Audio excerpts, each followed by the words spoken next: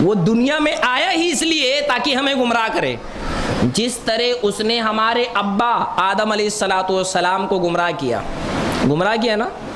ऐसा गुमराह किया, अल्लाह अकबर, ऐसा भटकाया, ऐसा वसवसा डाला फवस शैतान। ऐसा वसवसा डाला कि जन्नत भी छिन गई किससे? आदम सलाम से।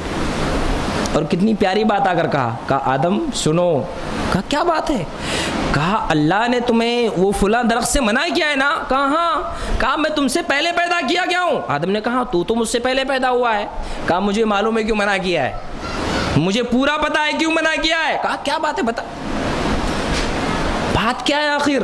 कहा, वो फल तुम खा लोगे ना, अल्लाह तुमसे जलन रखता है।